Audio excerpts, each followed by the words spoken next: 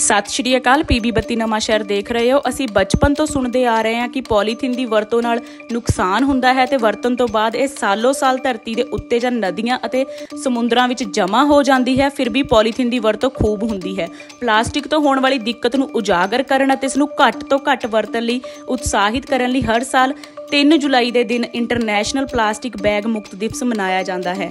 ਸਾਲ 2010 ਵਿੱਚ ਸਭ ਤੋਂ ਪਹਿਲਾਂ ਇਸ ਦਿਨ ਨੂੰ ਮਨਾਉਣ ਦੀ ਸ਼ੁਰੂਆਤ ਕੀਤੀ ਗਈ ਸੀ।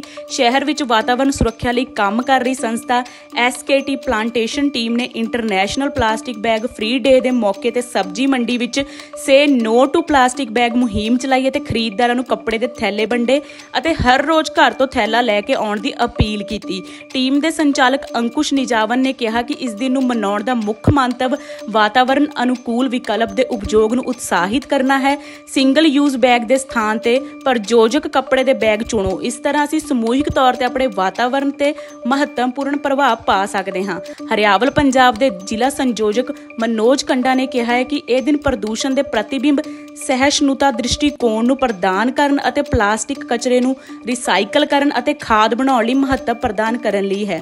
ਵਾਤਾਵਰਣ ਪ੍ਰੇਮੀ ਤਰਸੇਮ ਲਾਲ ਜੀ ਨੇ ਕਿਹਾ ਕਿ ਪਲਾਸਟਿਕ ਬੈਗ ਤੋਂ ਕਾਫੀ ਨੁਕਸਾਨ ਹੁੰਦਾ ਹੈ। ਇਸ ਦੀ ਵਰਤੋਂ ਕਰਨ ਵਾਲੇ ਬਿਮਾਰੀ ਦਾ ਸ਼ਿਕਾਰ ਹੁੰਦੇ ਹਨ, ਨਦੀ ਨਾਲੇ ਰੁਕ ਜਾਂਦੇ ਹਨ, ਇਸ ਲਈ ਸਾਨੂੰ ਕੱਪੜੇ ਦੇ ਬੈਗ ਦਾ ਹੀ ਇਸਤੇਮਾਲ ਕਰਨਾ ਚਾਹੀਦਾ ਹੈ। ਸਥਾਨਕ ਦੁਕਾਨਦਾਰਾਂ ਨੇ ਕਿਹਾ ਹੈ ਕਿ ਪਲਾਸਟਿਕ ਬੈਗ ਵਾਤਾਵਰਣ ਲਈ ਬਹੁਤ ਹੀ ਨੁਕਸਾਨਦਾਇਕ ਹਨ। ਸਰਕਾਰ ਨੂੰ ਵੀ ਵੱਡੇ ਪੱਧਰ ਤੇ ਜਾਗਰੂਕਤਾ ਪ੍ਰੋਗਰਾਮ ਚਲਾਉਣ ਦੀ ਲੋੜ ਹੈ। ਉਹਨਾਂ ਕਿਹਾ ਕਿ ਲੋਕ ਜਾਗਰੂਕ ਹੋਣ ਤੇ ਘਰ ਤੋਂ ਹੀ ਕੱਪੜੇ ਦੇ ਥੈਲੇ ਲੈ ਕੇ ਆਉਣ। ਜਦੋਂ ਕਿਸੇ ਕੋਲ ਥੈਲਾ ਨਹੀਂ ਹੋਵੇਗਾ, ਤਾਂ ਹੀ ਦੁਕਾਨਦਾਰ ਨੂੰ ਮਜਬੂਰੀ ਵਿੱਚ ਪਲਾਸਟਿਕ ਬੈਗ ਦੇਣਾ ਪੈਂਦਾ ਹੈ ਕਿਉਂਕਿ ਕੱਪੜੇ ਦਾ ਥੈਲਾ ਮਹਿੰਗਾ ਪੈਂਦਾ ਹੈ ਅਤੇ ਗਾਹਕ ਕੱਪੜੇ ਦੇ ਥੈਲੇ ਦੀ ਕੀਮਤ ਅਦਾ ਕਰਨ ਲਈ ਤਿਆਰ ਨਹੀਂ ਹੁੰਦੇ ਦਿਖਾਉਂਦੇ ਹਾਂ ਤੁਹਾਨੂੰ ਮੌਕੇ ਤੇ ਹੋਈ ਪੂਰੀ ਗੱਲਬਾਤ ਸਮਾਜ ਨੂੰ ਬੇਨਤੀ ਕਰਦਾ ਹਾਂ ਕਿ ਪੋਲੋਥੀਨ ਵਰਤਣਾ ਬੰਦ ਕਰ ਦਿਓ ਕਿ ਪੋਲੋਥੀਨ ਨਾਲ ਬਹੁਤ ਜ਼ਿਆਦਾ ਨੁਕਸਾਨ ਹੋ ਰਿਹਾ ਹੈ ਸਾਡੇ ਸੀਵਰੇਜ ਬੰਦ ਹੋ ਰਹੇ ਹਨ ਉਹਦੇ ਨਾਲ ਕਈ ਤਰ੍ਹਾਂ ਦੀਆਂ ਬਿਮਾਰੀਆਂ ਹੁੰਦੀਆਂ ਨੇ ਸੀਵਰੇਜ ਦੇ ਫੈਲਣ ਦੇ ਨਾਲ ਬਹੁਤ ਕੁਝ ਨੁਕਸਾਨ ਹੋ ਰਿਹਾ। ਇਸੇ ਕਰਕੇ ਮੈਨੂੰ ਸਾਰੀ ਪਬਲਿਕ ਨੂੰ ਇਹ ਬੇਨਤੀ ਆ ਕਿ ਆਪਣਾ ਇਹ ਵਾਲਾ ਬੈਗ ਵਰਤਣ ਉਹਦੇ ਨਾਲ ਆਪਣੇ ਘਰੋਂ ਬੈਗ ਲੈ ਕੇ ਆਣ ਔਰ ਜੋ ਵੀ ਸੌਦਾ ਸਬਜ਼ੀ ਪੱਤਰ ਲੈ ਕੇ ਜਾਣਾ ਇਸ ਬੈਗ ਦੇ ਵਿੱਚ ਲੈ ਕੇ ਜਾਣ। ਧੰਨਵਾਦ ਬਹੁਤ ਬਹੁਤ। ਸਾਡੀ ਤਾਂ ਇੱਕ ਤਰ੍ਹਾਂ ਮਜਬੂਰੀ ਹੋ ਜਾਂਦੀ ਦੇਣਾ ਜੀ ਬੈਗ ਹਾਂ। ਜਿਹੜਾ ਪੋਲੀਥੀਨ ਬਾਤੇ ਮਜਬੂਰੀ ਹੋ ਜਾਂਦੀ ਹੈ। ਜੇ ਬੈਗ ਆਪਣਾ ਘਰੋਂ ਕਸਟਮਰ ਲੈ ਗਿਆ ਵਾ ਸਾਡੇ ਵੀ ਪੈਸੇ ਬਚ ਠੀਕ। Thank you international no plastic bag day ਹੈ। ਇਸ ਵਿੱਚ ਇੰਟਰਨੈਸ਼ਨਲ ਲੈਵਲ ਤੇ ਇਹੀ ਸੰਦੇਸ਼ ਦਿੱਤਾ ਜਾਂਦਾ ਹੈ ਕਿ ਅਸੀਂ ਪਲਾਸਟਿਕ ਬੈਗ ਨੂੰ ਯੂਜ਼ ਨਾ ਕਰੀਏ, ਕਿਉਂਕਿ ਜਿਹੜਾ ਪਲਾਸਟਿਕ ਬੈਗ ਹੈ, ਉਹਦੇ ਬਹੁਤ ਨੁਕਸਾਨ ਹਨ। ਯੂਜ਼ ਕਰਨ ਤੋਂ ਬਾਅਦ ਜਦੋਂ ਉਸ ਨੂੰ ਅਸੀਂ ਧਰਤੀ ਤੇ ਸੁੱਟ ਦਿੰਦੇ ਹਾਂ, ਤਾਂ ਆਉਣ ਵਾਲੇ ਕਈ ਸਾਲਾਂ ਤੱਕ ਉਹ ਇਸੇ ਤਰ੍ਹਾਂ ਪਿਆ ਰਹਿੰਦਾ ਹੈ ਤੇ ਸਾਡੀ ਜਿਹੜੀ ਧਰਤੀ ਮਾਂ ਹੈ, ਉਹਨੂੰ ਪੋਲਿਊਟ ਕਰਦਾ ਰਹਿੰਦਾ ਹੈ। ਗੁਰਬਾਣੀ ਵਿੱਚ ਵੀ ਸੰਦੇਸ਼ ਦਿੱਤਾ ਗਿਆ ਹੈ, ਪਵਨ, ਗੁਰੂ, ਪਾਣੀ, ਪਿਤਾ, ਮਾਤਾ ਧਰਤ ਮਹਤ। ਤੋਂ ਇਹ ਸੰਦੇਸ਼ ਮਿਲਦਾ ਹੈ ਕਿ ਜਿਹੜੀ ਧਰਤੀ ਹੈ, ਉਹਨੂੰ ਅਸੀਂ ਬਚਾ ਕੇ ਰੱਖੀਏ, ਧਰਤੀ ਮਾਤਾ ਨੂੰ ਪੋਲਿਊਟ ਹੋਣ ਤੋਂ ਬਚਾਈਏ। ਇਸੇ ਲਈ ਅੱਜ ਐਸਕੇਟੀ ਪਲਾਂਟੇਸ਼ਨ ਟੀਮ ਦੇ ਵੱਲੋਂ ਸਬਜ਼ੀ ਮੰਡੀ ਦੇ ਬਾਹਰ ਪਲਾਸਟਿਕ ਬੈਗ ਦੇ ਅਗੇਂਸਟ ਕੈਂਪੇਨ ਚਲਾਇਆ ਜਾ ਰਿਹਾ ਹੈ ਤੇ ਕਲੌਥ ਬੈਗ ਇੱਥੇ ਵੰਡੇ ਜਾ ਰਹੇ ਹਨ ਤੇ ਸਬਜ਼ੀ ਲੈਣ ਵਾਲਿਆਂ ਨੂੰ ਪ੍ਰੇਰਿਤ ਕੀਤਾ ਜਾ ਰਿਹਾ ਹੈ ਕਿ ਹਰ ਰੋਜ਼ ਤੁਸੀਂ ਘਰੋਂ ਇਹ ਬੈਗ ਲੈ ਕੇ ਆਓ ਤੇ ਜਿਹੜੀ ਸਬਜ਼ੀ ਇੱਥੋਂ ਖਰੀਦੋ, ਉਹਨੂੰ ਇਸ ਬੈਗ ਦੇ ਵਿੱਚ ਪਾ ਕੇ ਲਿਜਾਓ। ਤਾਂ ਹੀ ਇਦਾਂ ਦੇ ਕੈਂਪੇਨ ਚਲਾਉਣ ਦਾ international no plastic day bag day ਮਨਾਉਣ ਦਾ ਫਾਇਦਾ ਹੈ ਜੇ ਸਾਡੇ ਇੱਥੇ ਆਉਣ ਵਾਲੇ ਲੋਕ ਪਲਾਸਟਿਕ ਬੈਗ ਨੂੰ ਯੂਜ਼ ਕਰਨਾ ਛੱਡ ਦੇਣ ਬਹੁਤ ਬਹੁਤ ਧੰਨਵਾਦ प्लास्टिक का जो है चलन इसको बंद होना चाहिए क्योंकि प्लास्टिक प्रदूषण को अ, अपने वातावरण को प्रदूषित करता है और इसका से, हमारे सेहत पर हमारे आने वाले जनरेशन पर बहुत ही बुरा असर पड़ेगा तो हमें जितना भी होना चाहिए प्लास्टिक का कम से कम यूज़ करें और कॉटन के बैग्स को प्रोत्साहित करें इसी में हमारी और हमारे समाज की भलाई है ਪੰਜਾਬ ਸਰਕਾਰ ਵੱਲੋਂ ਵੀ ਵਰਲਡ ਨੋ ਪਲਾਸਟਿਕ ਡੇ ਮਨਾਇਆ ਜਾ ਰਿਹਾ ਹੈ ਉਹਦੀ ਮੁਹਿੰਮ ਤਹਿਤ ਅਸੀਂ ਆਪਣੀ ਇੱਕ ਮਿਸ਼ਨ ਲਾਈਫ ਇਹਨਾਂ ਨੇ ਇੱਕ ਮਿਸ਼ਨ ਲਾਈਫ ਚਲਾਇਆ ਜੋ ਕਿ ਲਾਈਫ ਲਈ ਬਹੁਤ ਜ਼ਰੂਰੀ ਹੈ ਪੋਲੀਥੀਨ ਨੂੰ ਬੈਨ ਕਰਨਾ ਮਿਸ਼ਨ ਲਾਈਫ ਲਈ ਅਸੀਂ ਸਾਰੇ ਅੱਜ ਹੋਏ, ਲਾਈਵ ਹੋਏ ਆ ਤੇ ਮੇਰੀ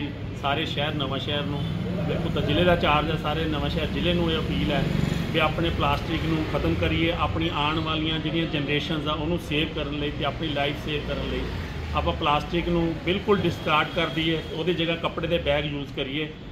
ਪਲਾਸਟਿਕ ਇੱਕ 1000 ਸਾਲ ਤੱਕ ਨਹੀਂ ਗਲਦਾ ਸਾਨੂੰ ਪਤਾ ਵੀ ਅਸੀਂ ਸੋਲਿਡ ਵੇਸਟ ਦੀ ਕਿੰਨੀ ਪ੍ਰੋਬਲਮ ਚਾਹੁੰਦੇ ਆ ਪਲਾਸਟਿਕ ਦੀਆਂ ਬੇਲਸ ਬਣਾਉਂਦੇ ਆ ਪਲਾਸਟਿਕ ਨੂੰ ਸੈਗਰੀਗੇਟ ਕਰਾਉਂਦੇ ਆ ਉਹ ਸਾਰੀਆਂ ਪ੍ਰੋਬਲਮਸ ਦਾ ਹੱਲ ਇਹ ਆ ਵੀ ਕੱਪੜੇ ਦਾ ਬੈਗ ਲਿਜਾਈਏ ਪਲਾਸਟਿਕ ਨੂੰ ਬਿਲਕੁਲ ਖਤਮ ਕਰੀਏ ਜੜੋਂ ਹੀ ਖਤਮ ਕਰ ਦਈਏ, ਇੱਕ ਬੜੀ ਵੱਡੀ ਬਿਮਾਰੀ ਆ ਕੈਂਸਰ ਵੀ ਇਹਦੇ ਤੋਂ ਪੈਦਾ ਹੁੰਦਾ, ਹੋਰ ਕਈ ਬਿਮਾਰੀਆਂ ਦੀ ਜੜ ਇਹ ਆ, ਜੜ ਨੂੰ ਰੈਡੀਕੇਟ ਕਰਨ ਲਈ ਅੱਜ ਇਹ ਨੋ ਪਲਾਸਟਿਕ ਡੇ ਮਨਾਈਏ ਤੇ ਮੇਰੀ ਸ਼ਹਿਰ ਵਾਸੀਆਂ ਨੂੰ ਵੀ ਅਪੀਲ ਹੈ ਵੀ ਸਾਡੇ ਨਾਲ ਮੋਢੇ ਨਾਲ ਮੋਢਾ ਜੋੜ ਕੇ ਪਲਾਸਟਿਕ ਨੂੰ ਨਾ ਕਰਕੇ ਤੇ ਆਪਣੇ ਕੱਪੜਿਆਂ ਵਾਲੇ, ਜੋ ਪੁਰਾਣਾ 올ਡ ਸਿਸਟਮ ਸੀਗਾ ਸਾਡਾ, ਨਹੀਂ ਲੈਣ ਜਾਣਾ ਜਾਂ ਦੂਜੇ ਲੈਣਾ ਸਟੀਲ ਦਾ ਅੱਗੇ ਡੋਲੂ ਲੈ ਕੇ ਜਾਂਦੇ ਸੀ, ਉਹੀ 올ਡ ਸਿਸਟਮ ਦੇ ਵਿੱਚ ਆਪਾਂ ਆਈਏ ਪਲਾਸਟਿਕ ਨੂੰ ਨੋ ਕਰਕੇ ਆਪਣੀ ਲਾਈਫ ਨੂੰ ਹੋਰ ਆਪਾਂ ਬਿ- ਬਿਮਾਰੀਆਂ ਤੋਂ ਫ੍ਰੀ ਬਣਾਈਏ ਥੈਂਕ ਯੂ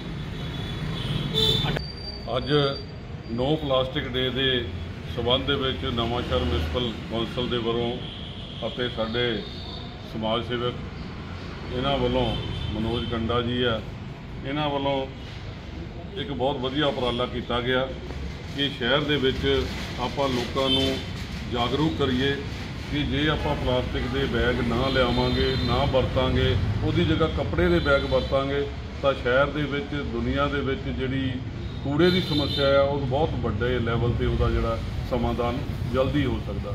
ਕਿਉਂਕਿ ਜਦੋਂ ਆਪਾਂ ਪੋਲੀਥੀਨ ਆਉਂਦਾ ਮਾਰਕੀਟ ਦੇ ਵਿੱਚ ਮਾਰਕੀਟ ਦੇ ਵਿੱਚੋਂ ਕੂੜੇ ਦੇ ਢੇਰਾਂ ਤੇ ਜਾਂਦਾ, ਤਾਂ ਉਹਨੂੰ ਡਿਸਪੋਜ਼ ਆਫ ਕਰਨਾ, ਉਹਨੂੰ ਖਤਮ ਕਰਨਾ ਬਹੁਤ ਹੀ ਮੁਸ਼ਕਲ ਗੱਲ ਆ। ਜਿੱਦਾਂ ਕਿ ਐਮੀ ਸਾਹਿਬ ਨੇ ਦੱਸਿਆ ਕਿ ਹਜ਼ਾਰਾਂ ਸਾਲ ਲੱਗ ਕੇ ਵੀ ਜਿਹੜੀ ਆ ਪਲਾਸਟਿਕ ਖਤਮ ਨਹੀਂ ਹੁੰਦੀ। ਇਸ ਕਰਕੇ ਆਪਾਂ ਸਾਰੇ ਸ਼ਹਿਰ ਵਾਸੀਆਂ ਨੂੰ ਸਾਡੀ ਪੁਰਜੋਰ ਅਪੀਲ ਹੈ ਕਿ ਆਪਾਂ ਕੱਪੜੇ ਦੇ ਬੈਗ ਯੂਜ਼ ਕਰੀਏ, ਜਿਹੜੇ ਪਲਾਸਟਿਕ ਦੇ ਬੈਗ ਆ, ਉਹਨਾਂ ਦੀਆਂ ਉਹ ਤੋਂ ਬਿਲਕੁਲ ਗੁਰੇਜ਼ ਕਰੀਏ।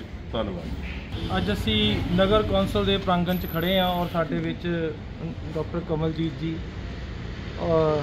ਸੀਨੀਅਰ ਮੈਂਬਰ ਨੇ ਕੌਂਸਲ ਦੇ। ਉਹਨਾਂ ਨਾਲ ਐਮਈ ਸਾਹਿਬ, ਹਰਜਿੰਦਰ ਸਿੰਘ ਸੇਠੀ ਜੀ, ਨਾਲ ਸੈਨੇਟਰੀ ਇੰਸਪੈਕਟਰ ਦੀਪਮਾਲਾ ਮੈਮ ਜੀ ਨਾਲ ਬਬਲੂ ਜੀ, ਅੰਕੁਸ਼ ਜੀ ਐਸਕੇਟੀ ਤੋਂ। ਮੈਂ ਹਰਿਆਵਲ, ਪੰਜਾਬ ਦੇ ਜ਼ਿਲ੍ਹਾ ਕਨਵੀਨਰ ਹੋਣ ਦੇ ਨਾਤੇ ਇਹ ਦੁੱਖ ਸਮਝਦਾ ਵਾਂ ਕਿ ਜਿੰਨਾ ਵੱਡਾ ਇਹ ਕਸ਼ਟ ਨਗਰ ਕੌਂਸਲ ਦੇ ਉੱਪਰ ਜਿਹੜਾ ਸੈਗਰੀਗੇਸ਼ਨ ਦਾ ਪਿਆ ਹੋਇਆ ਵਾ, ਉਹ ਨਗਰ ਕੌਂਸਲ ਤੇ ਨਹੀਂ ਪਿਆ ਹੋਇਆ, ਉਹ ਸਾਡੇ ਤੇ ਵੀ ਉਨਾ ਪਿਆ ਹੋਇਆ।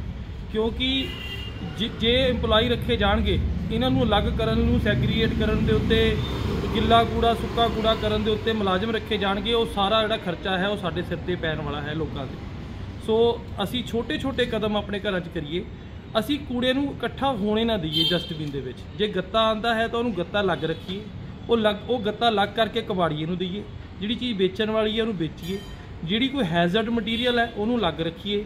ਕੋਈ ਗਿੱਲਾ ਕੂੜਾ ਹੈ, ਉਹਨੂੰ ਲੱਗ ਰੱਖ ਕੇ ਨਗਰ ਕੌਂਸਲ ਦੇ ਨਾਲ ਸੰਪਰਕ ਕਰਕੇ ਉਹਨਾਂ ਦੇ ਸਫ਼ਾਈ ਕਰਮਚਾਰੀਆਂ ਨਾਲ ਸੰਪਰਕ ਕਰਕੇ ਡੰਪ ਤੇ ਸੁਰੱਖਿਅਤ ਰੂਪ 'ਚ ਪਹੁੰਚਾਈਏ ਤਾਂ ਕਿ ਉਹਦੀ ਜਿਹੜੀ ਹੈ ਅੱਗੇ ਪ੍ਰੋਸੈਸਿੰਗ ਹੋ ਸਕੇ। ਸੁੱਕੇ ਫਲਾਂ ਦੇ ਛਿਲਕੇ ਘਰ ਆ ਰਹੇ ਨੇ, ਕੋਈ ਸਿਟ੍ਰਿਕ ਫੂਡ ਦੇ ਛਿਲਕੇ ਨੇ, ਉਹਨਾਂ ਨੂੰ ਅਸੀਂ ਬਾਇਓ ਐਂਜ਼ਾਈਮ ਬਣਾਈਏ। ਔਰ ਘਰ ਦੇ ਵਿੱਚ ਜਿੰਨੀਆਂ ਬੋਟਲ ਅਸੀਂ ਮੰਗਾ ਰਹੇ ਹਾਂ ਹਾਰਪਿਕ ਦੀਆਂ ਮੰਗਾ ਰਹੇ ਹਾਂ ਸ਼ੈਂਪੂ ਦੀਆਂ ਬੋਟਲ ਉਹ ਅਸੀਂ ਬਾਇਓ ਐਂਜ਼ਾਈਮ ਤਿਆਰ ਕਰਕੇ ਆਪਣੇ ਘਰਾਂ ਦੇ ਵਿੱਚ, ਉਹ ਕਾਫੀ ਹੱਦ ਤੱਕ ਅਸੀਂ ਉਸ ਪਲਾਸਟਿਕ ਨੂੰ ਵੀ ਘਟਾ ਸਕਦੇ ਸੋ ਪਲਾਸਟਿਕ ਕਈ ਤਰ੍ਹਾਂ ਦੀ ਹੈ, ਜਿਹੜੀ ਡਾਕਟਰ ਸਾਹਿਬ ਨੇ ਗੱਲ ਕੀਤੀ ਹੈ, ਆਪਾਂ ਉੱਤੇ ਚੱਲਣਾ ਹੈ। ਸਾਡੀ ਐਨਕ ਦੇ ਵਿੱਚ ਵੀ ਲੱਗਿਆ ਪਲਾਸਟਿਕ ਹੈ, ਪਰ ਉਹ ਬਹੁਤ ਲੰਬੇ ਸਮੇਂ ਤੱਕ ਅਸੀਂ ਯੂਜ਼ ਕਰਦੇ ਆ ਇਸ ਕਰਕੇ ਉਹ ਉਹ ਐਡੀ ਵੱਡੀ ਸਮੱਸਿਆ ਨਹੀਂ ਹੈ। ਪਰ ਜਿਹੜੀ ਸ- ਗਲਦੀ ਨਹੀਂ ਆ, ਆਪਾਂ ਸੜਕ ਤੇ ਸਿੱਟ ਦਿੰਦੇ ਆ ਖਾ ਕੇ ਵੈਲੀਜ਼ ਦੇ ਉੱਪਰ ਜਾ ਕੇ ਆਪਾਂ ਚਿਪਸ ਦੇ ਪੈਕਟ ਸਿੱਟ ਰਹੇ ਆ ਬੋਟਲ ਸਿੱਟ ਰਹੇ ਆ ਪਾਣੀ ਵਾਲੀਆਂ ਛੋਟੇ ਗਲਾਸਿਸ ਸਿੱਟ ਰਹੇ ਆ ਧਾਰਮਿਕ ਸੰਗਠਨ ਵੀ ਅੱਗੇ ਆਣ ਬਰਤਨ ਬੈਂਕ ਬਣਾਉਣ, ਕਿਉਂਕਿ ਅਸੀਂ ਇੱਕ ਛੋਟੀ ਜੀ ਪਾਰਟੀ ਕਰਦੇ ਆ ਕਾਫੀ ਹੱਦ ਵਿੱਚ ਪਲੇਟਾਂ ਚੱਕ ਕੇ ਬਾਹਰ ਸਿੱਟ ਦਿੰਦੇ ਆ ਉਹ ਨਗਰ ਕੌਂਸਲ ਲਈ ਸਾਡੇ ਲਈ ਵਿਪਤਾ ਦੀ ਘੜੀ ਖੜੀ ਹੋ ਜਾਂਦੀ ਹੈ। ਸੋ ਅਸੀਂ ਬਰਤਨ ਬੈਂਕ ਵੀ ਬਣਾਈਏ ਛੋਟੇ ਛੋਟੇ ਪ੍ਰਯਾਸਾਂ ਦੇ ਨਾਲ ਅਸੀਂ ਸਮਾਜ ਨੂੰ ਵਿਕਸਿਤ ਭਾਰਤ ਵੱਲ ਲੈ ਕੇ ਜਾਈਏ। ਨਹੀਂ ਤਾਂ ਇਹ ਵਿਕਸਿਤ ਭਾਰਤ ਕਿਤਾਬਾਂ 'ਚ ਹੀ ਰਹਿ ਜਾਏਗਾ ਔਰ ਨੇ- ਇਹ ਇਹ ਬਣਨਾ ਬਹੁਤ ਦੂਰ ਦੀ ਗੱਲ ਹੈ। ਅਸੀਂ ਹੀ ਬਣਾਉਣਾ ਹੈ ਲੋਕਾਂ ਨੇ ਮਿਲ ਕੇ। ਸੋ ਆਪਾਂ ਸਾਰੇ ਮਿਲ ਕੇ ਨਗਰ ਕੌਂਸਲ ਦੇ ਨਾਲ ਖੜੀਏ ਔਰ ਉਹਨਾਂ ਦੇ ਨਾਲ ਜੋ ਸਾਡੇ ਤੋਂ ਹੈਲਪ ਲੈਣਾ ਚਾਹੁੰਦੇ ਨੇ ਸੁਸਾਇਟੀ ਤੋਂ, ਸਾਡਾ ਕੀ ਰੋਲ ਹੈ ਆਪਾਂ ਉਹ ਨਿਭਾਈਏ ਔਰ ਉਹ ਵੀ ਆਪਣਾ ਜਿਹੜਾ ਰੋਲ ਹੈ ਫਿਰ ਤਦੇ ਅੱਛੇ ਤਰੀਕੇ ਨਾਲ ਨਿਭਾ ਪਾਣਗੇ। ਇਹਨਾਂ ਸ਼ਬਦਾਂ ਰਾਹੀਂ ਮੈਂ ਸਾਰੀ ਟੀਮ ਦਾ, ਸਾਰੇ ਜਿੰਨੇ ਇੱਥੇ ਅੱਜ ਪਹੁੰਚੇ ਹਨ ਇਸ ਮੈਸੇਜ ਨੂੰ ਦੇਣ ਲਈ ਮੈਂ ਉਹਨਾਂ ਦਾ ਧੰਨਵਾਦ ਕਰਦਾ।